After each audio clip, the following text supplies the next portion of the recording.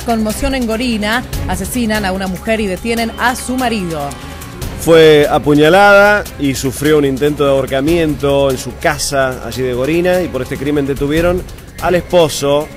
La víctima fue identificada como Claudia Salgán, de 40 años. Falleció finalmente en el Hospital San Roque de Gonet, donde había ingresado en las últimas horas con dos heridas punzocortantes, presuntamente realizadas con un destornillador en el tórax y signos además de ahorcamiento en el cuello. Habría mantenido ya con anterioridad otros episodios de violencia y ahora el esposo permanece detenido a disposición del fiscal de instrucción Marcelo Romero.